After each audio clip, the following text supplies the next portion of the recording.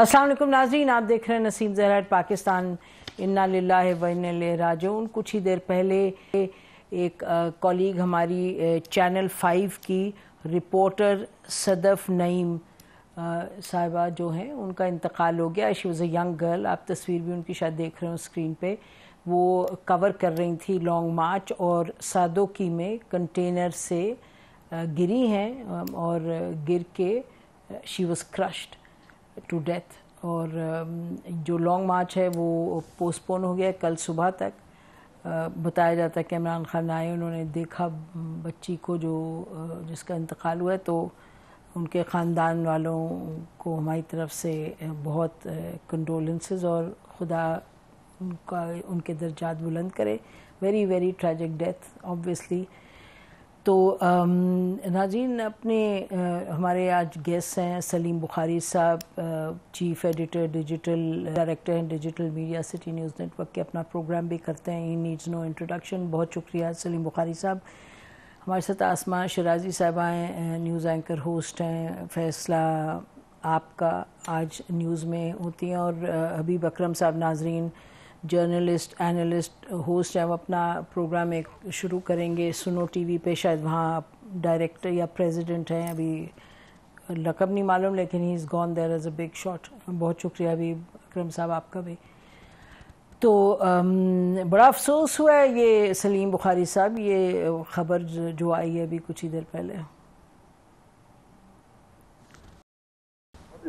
खबर है, एक यंग खातून जिसने अपना करियर शुरू किया है जर्नलिस्ट और वो इतने डिफ़िकल्ट असाइनमेंट के ऊपर थी। आपको पता है लॉन्ग मार्च को रिकवर करने के लिए किन मुश्किल का सामना रिकवर करने के लिए किन मुश्किल का सामना करना पड़ता है? हम तो देख चुके हैं, लोगों से सुन भी चुके हैं, इसलिए बड़ी हिम्मत वाली खातून थी वो, और जितनी ट्रेजिक उनकी डेथ है, उसके ऊपर जितना भी अफसोस किया जाए, वो कम है। और उनके घर के जो उनके वारसैन हैं, उनके साथ भी हमदर्दी का इजहार करते हैं। हम अपने इस प्रोग्राम की वसात से भी, ख़ास तौर से और अपने ग्रुप की तरफ़ से भी, मैं उन ग्रुप की नुमाइंदगी करते हुए तमाम अपने साथियों की तरफ़ से उनकी इस अंदोहना जो वफात हुई है उसके ऊपर उन अल्लाह ताला से दुआ करते हैं कि वो उनकी मगफरत करे और उनके घर वाले जो हैं उनको वो सब्र अता करे ताकि वो हिम्मत पैदा करके ये सदमा बर्दाश्त कर सकें। जी मामीन आसमा आप इस पर कुछ कहना चाहेंगे?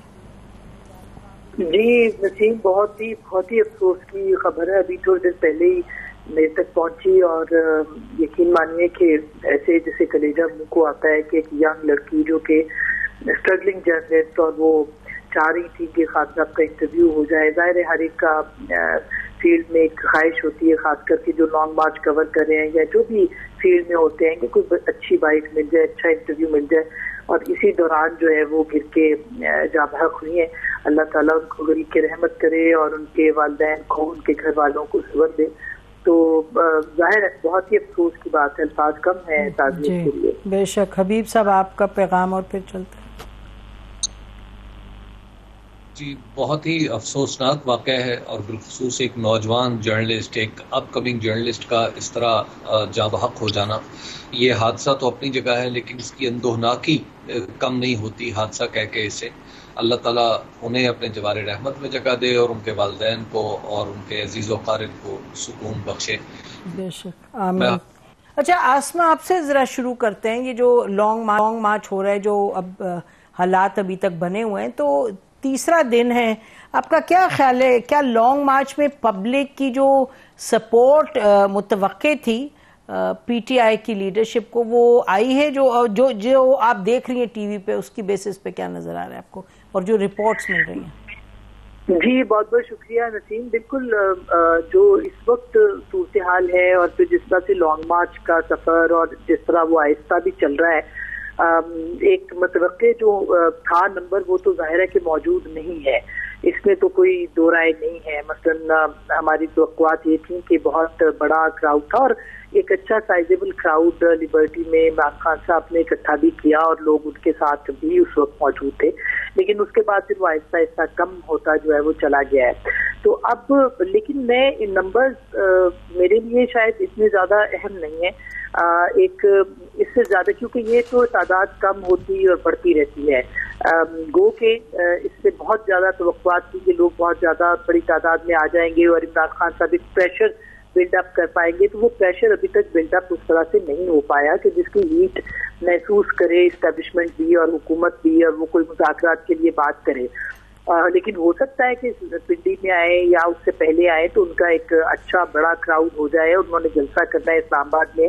हो सकता है कि बड़ा जलसा हो जाए। लेकिन जो तो थी वो यही थी कि बड़ी तादाद में जब लोग आएँगे एक फ्लो में आएँगे एक मतलब बहुत ज़्यादा प्रेशर होगा इस्टेब्लिशमेंट पे और नज़र आ रहा था इदारों के ऊपर भी हुकूमत के ऊपर भी कि एक नया लॉन्ग मार्च है और बड़ी तादाद में लोग इस्लामाबाद की तरफ़ आएँगे।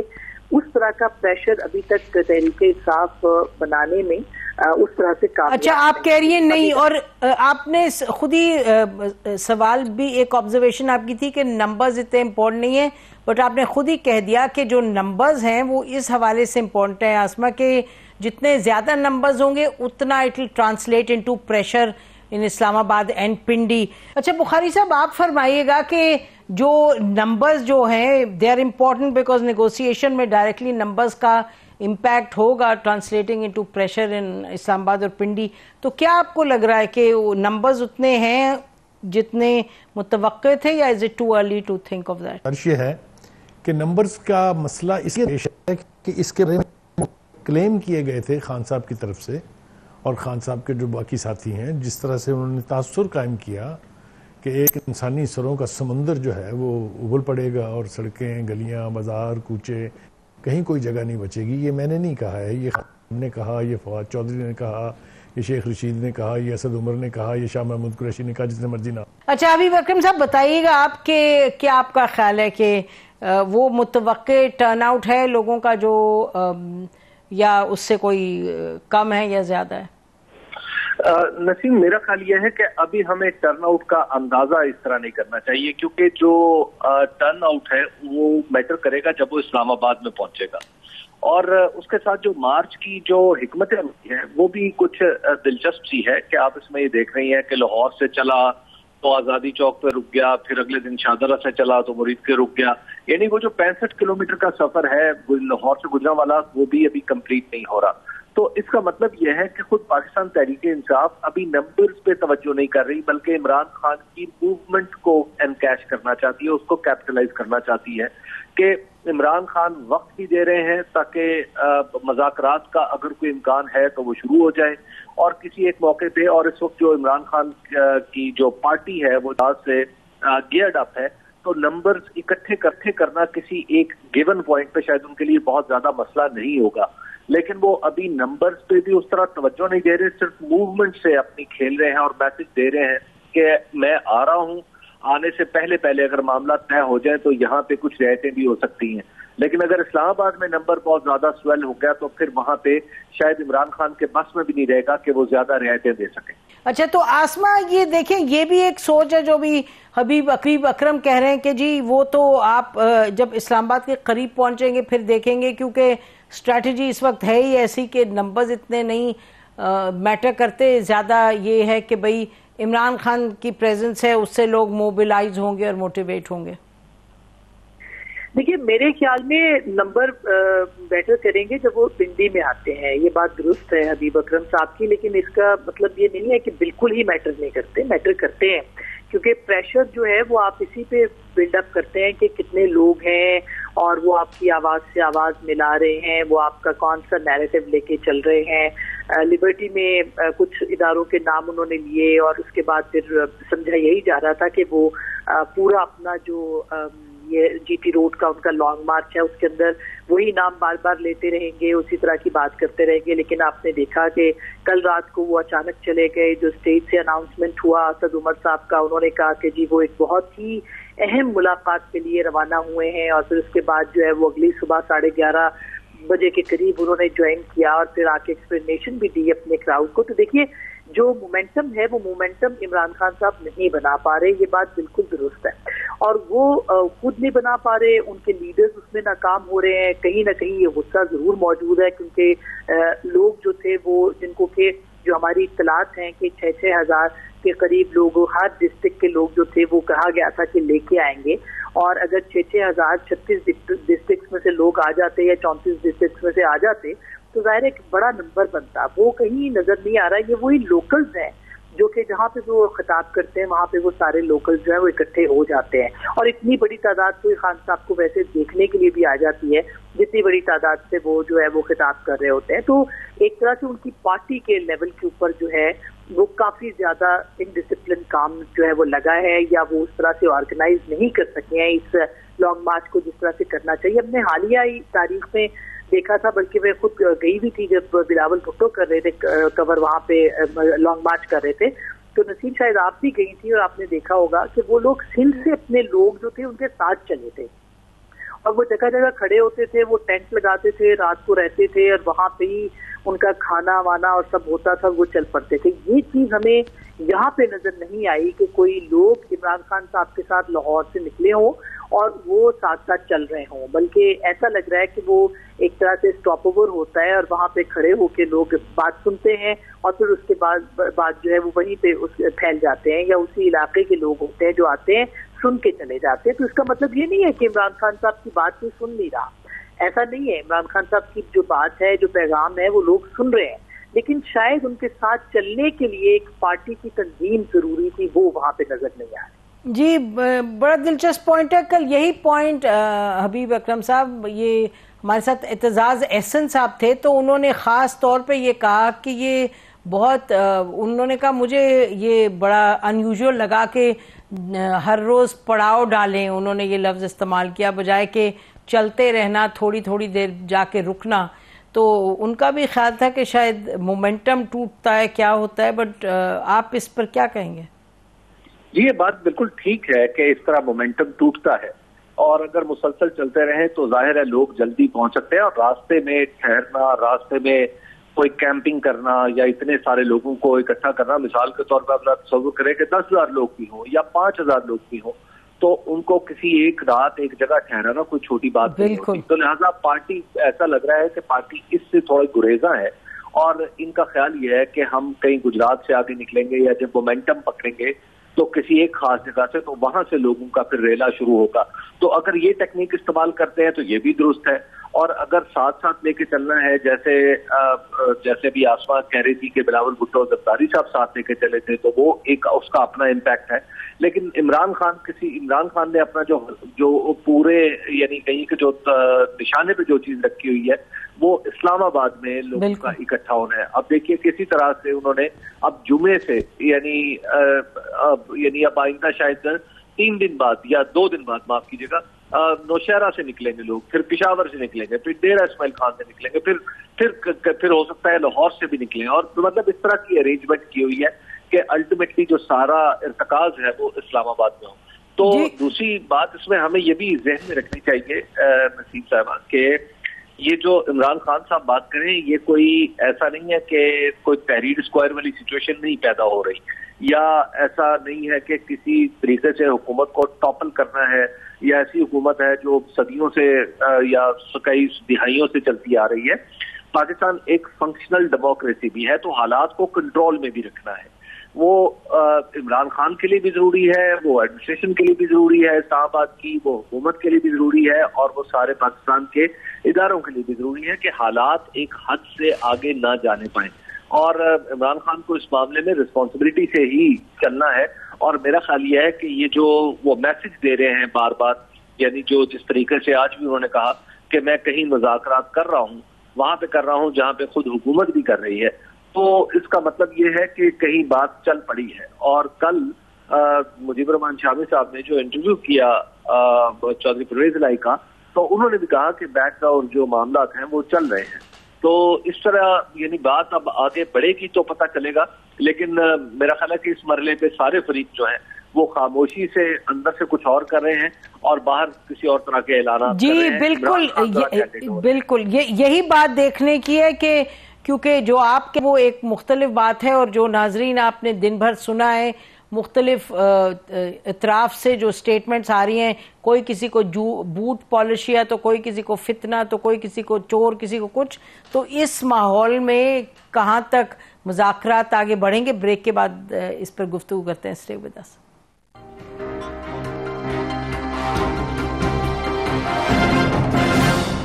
वेलकम बैक नाजीन। अभी हमारे पैनलिस्ट बात कर रहे थे कि बातचीत किस तरह हो सकती है, होगी, नहीं होगी, और जो नंबर्स हैं वो किस तरह इम्पैक्ट करेंगे।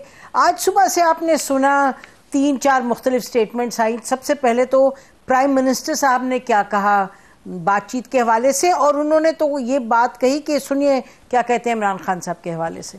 मेरे जानने वाले हैं। कोई महीना पहले मेरे पास इमरान न्याजी का पैगाम लेके आए। तो मैंने उनका कहा कि किस इश्यूज़ के ऊपर? उनका जी, दो इश्यूज़ एक आर्मी चीफ की अपॉइंटमेंट हम आपस में तय कर लें। और दूसरा इलेक्शन की डेट हम तय करने को तैयार हैं। अच्छा ये कहा प्राइम मिनिस्टर साहब ने, जरा जवाब सुनिएगा इमरान खान साहब का कंटेनर मैं बूट पॉलिश करने वालों से बात नहीं करता। मैं उनसे बात कर रहा हूँ और की जिनको मिलने के लिए आप गाड़ी की डिक्की के अंदर छुप के जाया करते थे। जी, ये जैसे हबीब अकरम साहब कह रहे थे कि इस्टेब्लिशमेंट से कोई बातचीत हो रही होगी शायद। अब फवाद चौधरी साहब ने क्या कहा, सुनिए। कोई मीटिंग नहीं हो रही। हमारा जो है वो तमाम मैंडेट आर एफ़ अलवी साहब के पास है। हमारी तरफ़ से कि वो जो भी कंसेंसस क्रिएट करता है या सोल्यूशन निकालता है हम उसके साथ तो हम आसमा ये जरा बताइएगा कि आर एफ़ अलवी साहब अब वो कह रहे हैं कि जी प्रेसिडेंट साहब को हमने तमाम मैंडेट दिया है। तो ये बड़ी दिलचस्प बात है यानी कि एक तरफ़ तो इमरान खान साहब ने कह दिया ना कि मेरी शर्त यह है कि इलेक्शन फेयर और फ्री होंगे इसी पे बात करेंगे। दूसरी तरफ़ अब वो आ, मतलब अगर ये आपका है बिल्कुल क्लियर ऑब्जेक्टिव तो फिर आरिफ अलवी साहब क्या लचक उसमें पैदा कर सकते हैं? उनको जब वो कह रहे हैं अथॉरिटी दी है तो काहे की अथॉरिटी दी है? जी बिल्कुल बड़ी इंटरेस्टिंग बात है ये नसीम। लेकिन सवाल ये है कि इमरान खान साहब मुस्तकिल ये कहते रहे और जब वो लॉन्ग मार्च लेके भी निकले कि वो किसी सूरत इलेक्शन की जो तारीख लिए बगैर अपना एहतजाज खत्म नहीं करेंगे या वो जो जीटी रोड का सफ़र है, इसको, इसकी मंजिल सिर्फ़ और सिर्फ़ आम इंतबात है और उनकी जल्द से जल्द उनका इनका है। एक तरफ़ ये पोजीशन है और दूसरी तरफ़ हुकूमत की पोजीशन है जो कि वो कह रही है कि हम अपने वक्त पर इंतबात करेंगे। आज ख्वाजा आसिफ साहब ने जो प्रेस कॉन्फ्रेंस सियालकोट में की है, उसमें उन्होंने कहा है कि तेरह अगस्त को शायद तसली की मुद्दत खत्म होगी और उसके बाद जो है अगले तीन महीने आप काउंट कर लें नब्बे दिन। और वो डेट अगर आप देते हैं तो उसके ऊपर हम बात करने को तैयार है। यानी अपने मुकर्र मुद्दत के ऊपर इंतबात की बात से वो पीछे नहीं हट रहे। अब इमरान खान साहब ने प्रेशर बिल्डअप करना है और वो नैरेटिव लेके आना है जिसके ऊपर हुकूमत मान जाए। तो अभी तक वो प्रेशर नहीं हुआ और वो पिंडी में अगर आके वो बना देते हैं तो ज़ाहिर है कि वो धरना देंगे जलसा देंगे और हुकूमत की जो लायामल नज़र आ रहा है अपेरेंटली वो यही है कि वो उनको आने देंगे वो बैठ जाएँगे कहीं पे फिर वो महीना बैठे दो, दो महीने बैठे लेकिन इंतबात का वो कह रहे हैं कि हम पहले नहीं देंगे। अभी जो अलवी साहब ने ये बात कही और वो हमारे इस इंटरव्यू में भी उन्होंने ये बात कही थी कि वो ये चाहते हैं कि किसी तरीके से मीशत और इंतबात के हवाले से जो है वो बात हो जाए। और वो निगोशिएटर का किरदार भी अदा कर रहे थे और उन्होंने ऑफ़र भी किया अपना किरदार उस वक्त जो है वो हुकूमत को। और हुकूमत से उन्होंने बात भी की, अगर आपको याद हो, उन्होंने इस तरह की बात की कि इस तरह के पैगाम जो है वो आए हैं या दिए जा रहे हैं। तो अब सवाल ये कि अगर अलवी साहब ने ये सारी बात करनी थी तो अलवी साहब तो पहले भी बात कर रहे थे। अलवी साहब ने तो आर्मी चीफ से भी बात की। अलवी साहब ने तो प्राइम मिनिस्टर को भी कहा। तो फिर इस लॉन्ग मार्च का मकसद क्या था? इस लॉन्ग मार्च के मकासद और अहदाफ क्या थे? क्या इसका मकसद सिर्फ़ और सिर्फ़ जीटी रोड के ऊपर आके तो नारे लगाना था या इदारों के नाम लेना था या ये तब्दीली का मुतालबा था? तो मेरा ख्याल है कि बहुत ही अनक्लियर गैर वाजे एजेंडे के साथ इमरान खान साहब ने लॉन्ग मार्च किया। जल्दी में लॉन्ग मार्च किया और उनको पता था कि हुकूमत अपनी बात से नहीं हटेगी, उसके बावजूद उन्होंने इस लॉन्ग मार्च का जो है वो रिस्क लिया। अब ज़ाहिर है कि वो एक ऐसी पोजीशन पे हैं जहाँ पे तहरीक इंसाफ मुस्तकिल जो है वो मुजाकर की बात करती दिखाई दे रही है और दिखाई देगी। हुकूमत को चाहिए, लेकिन हुकूमत अगर कोई भी हुकूमत इस वक्त होती इवन इमरान खान साहब की होती तो क्या वो इंतबात की बात करते? मेरा नहीं ख्याल कि इंतबात से वो मान जाते उस वक्त। तो उस पोजीशन पे अगर देखें तो हुकूमत अपनी जगह पे टिकी रहेगी और इमरान खान साहब को अलबत्ता अपनी पोजीशन से पीछे हटना पड़ेगा और फेस सेविंग उनको चाहिए होगी। वो फेस सेविंग क्या होगी? क्या वो पार्लियामेंट में वापस आएँगे? या फिर वो कहेंगे कि ठीक है, आप एक आध डेढ़ महीना पीछे चले जाए, मैं अपनी, आपकी जो मुकर्रा तारीख है, उस तक आ जाता हूँ। तो इस तरह की जो सिचुएशन है, वो नज़र फ़िलहाल नज़र आती दिखाई देती है। कल को कुछ हो जाए सिचुएशन बदल जाए, इमरान खान साहब के पॉइंट में वो प्रेशर अपना बिल्डअप कर पाए, वो हुकूमत को निगोशिएशन की टेबल पे ले आए, ये कल की बात है। जो आज तक की सूरत हाल है, उसके अंदर हुकूमत अपनी पोजीशन से हटती दिखाई नहीं दे रही। हटती हुई दिखाई नहीं देती, अभी अकरम साहब, दूसरी तरफ़ हम ये भी देख रहे हैं कि, और मतलब टेकिंग आसमास पॉइंट फॉरवर्ड के सब कह रहे हैं कि जी कोई गुफ्तगु नहीं हो रही डिफेंस मिनिस्टर साहब ने कहा जी, कोई बातचीत नहीं हो रही येट येट यू हैव के प्राइम मिनिस्टर ने एक कमेटी बनाई, जिसमें अपने दो जीरक लोग डाले, जिसमें साद रफीक साहब डाले और अयाज सादिक साहब डाले, जिनका तजर्बा भी है डायलॉग में, बातचीत में।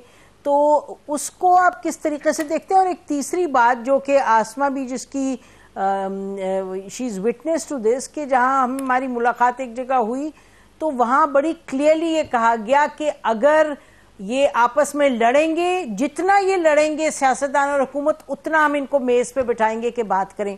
और आज D G I S P R की भी आपने देखी होगी ट्वीट दिन में कि हुकूमत से ये रिक्वेस्ट की जा रही है कि वायलेंस की तरफ़ बात ना ले जाएँ और इसको बैठ करके, बातचीत करके इसको, इसका कोई हल निकालें। देखिए दुनिया में कोई भी हुकूमत हो, उसके पास सवाए इसके कोई ऑप्शन नहीं होती कि अपने खिलाफ चलने वाली किसी तहरीक, अपने खिलाफ निकलने वाले किसी जुलूस, जलसे और उसके महरकिन से मुजाकर ना करे। उसकी वजह यह है कि जो कुछ भी देना होता है, वो हुकूमत ने देना होता है। और जो कुछ भी मजबूरियाँ होती हैं इस तरह की सूरत हाल में वो हुकूमत की होती है अपोजिशन की नहीं होती। तो इस पर्टिकुलर केस में भी आप देख लीजिए नसीम जहरा साहबा के 2014 में एक कंटेनर खड़ा हुआ था आपका डी चौक में। वो बहुत बड़ा मजमा नहीं था। सिर्फ़ इमरान खान उसके ऊपर इम्कान होता था कि हर रोज वो आया करेंगे। उस इम्कान को सामने रखते हुए चीन के जो आपके जो हमारे दोस्त हैं जिनके साथ हमारा दावा है कि हमारी दोस्ती हमालिया से ऊँची और बहर अरब से गहरी है। वहाँ उन उसके सदर की सूरत ये थी कि उसने अब आपके मुल्क में आने से इनकार कर दिया था और कहा था कि आप पहले ये मामला अपने सेटल करें उसके बाद फिर मैं आपके पास आऊँगा। और आज इमरान खान क्या 2014 की सिचुएशन से बेहतर है या या कमतर है? अब इसका फैसला तो वक्त में करना है। लेकिन अगर आप फ़र्क करें ये तस्वुर भी कर लें कि ये 2014 वाली कैफियत है तो हुकूमत अगले 10 महीने में या 9 महीने में क्या कर पाएगी? अगर वो सी पैक को तेज करना है तो क्या सी पैक को तेज कर पाएगी? आज वो बड़ा दावा कर रहे थे, आज वज़ीर आज़म बिन सलमान जो है वज़ीर आज़म और वली वली अहद सऊदी अरब के वो पाकिस्तान तशरीफ़ लाएँगे, बिस्मिल्लाह। लेकिन क्या ऐसी किसी सूरत हाल में वो तशरीफ़ लाएँगे? बात यह है कि हुकूमत की अपनी मजबूरियाँ होती हैं, हुकूमत की अपनी लिमिट्स होती हैं जिनके अंदर उसे रहना है। तो इस पर्टिकुलर केस में भी हुकूमत को अल्टीमेटली मजाकरात की तरफ़ जाना पड़ेगा। वो आज उनका पॉलिटिकल वो ज़ाहिर एक पॉलिटिकल पार्टी है पीएमएलएन भी है पाकिस्तान पीपुल्स पार्टी भी है। ये सारी पार्टियाँ जो हैं वो अपने अपना हल्का इंतखाब रखती हैं। तो लिहाजा उन, उन्होंने उन्होंने एक मौके वो इख्तियार करना है जो सियासी तौर पर आइंदा उनके इलेक्शन में मददगार और मुआवन साबित होगा। और दूसरा बहरल हुकूमत के तौर पर ज़िम्मेदारी भी उन पर लेनी, उनकी लेनी है। क्या मौलाना फजल रहमान से मुजाकर नहीं हुए थे? तो आप कह रहे हैं कि अल्टीमेटली के हुकूमत की मजबूरी है, करने पड़ेंगे आज नहीं तो कल, क्योंकि ज़रूरत इनको है मुजाकर की। ब्रेक लेते हैं नाजरीन और इस गुफ्तु को जारी रखते हैं। Stay with us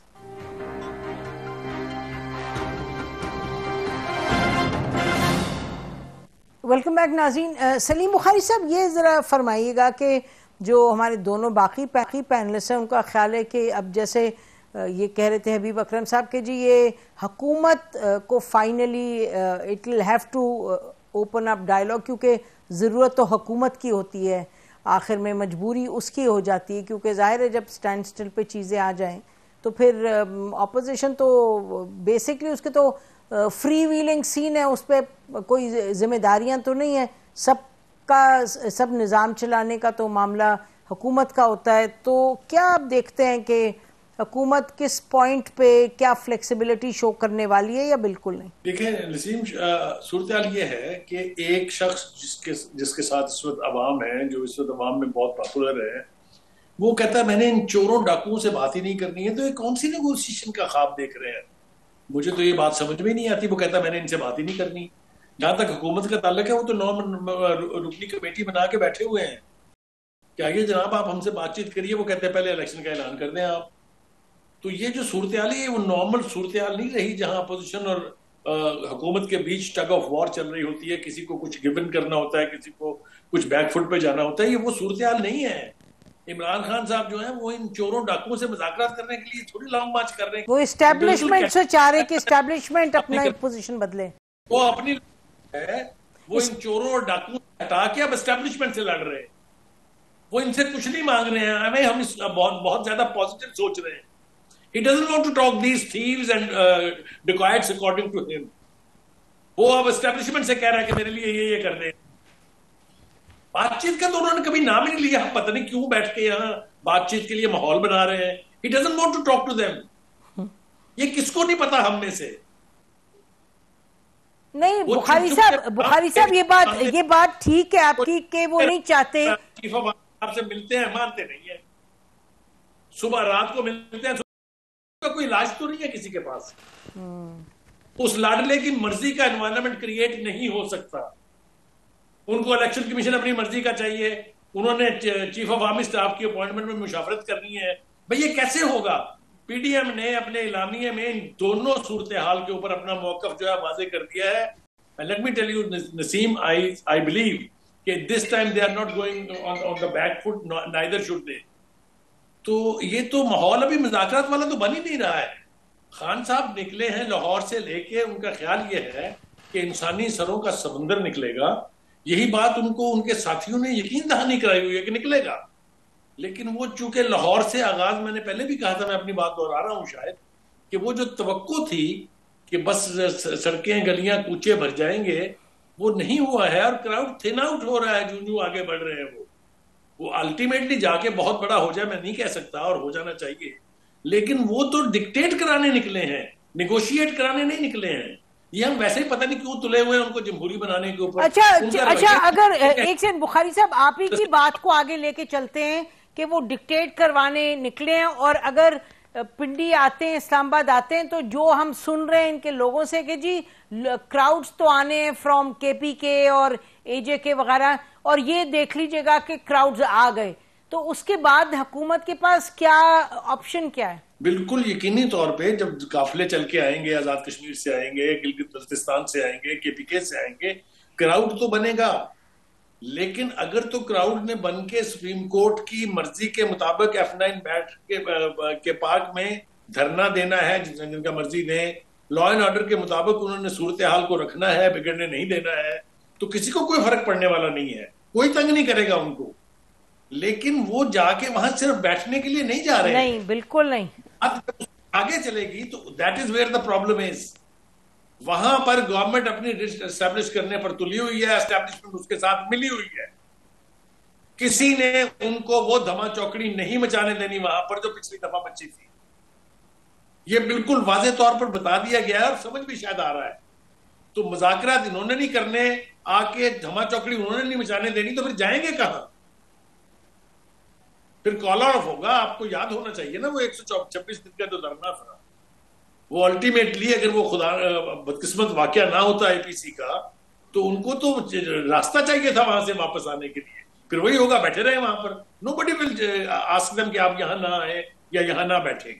लेकिन वो जो उससे आगे की मंजिल तय की हुई है ना, जिसके जिसके लिए अली अमीन गंडापुर साहब असला जमा कर रहे हैं पिंडी इस्लामाबाद के बॉर्डर के ऊपर जो हमने अभी ऑडियो लीक सुनी है तो वो वो मरहला जो है, जब आएगा तो फिर वहाँ पर उनको वो जो हुकूमत की, रिट की फोर्सेज हैं, उनका सामना करना पड़ेगा।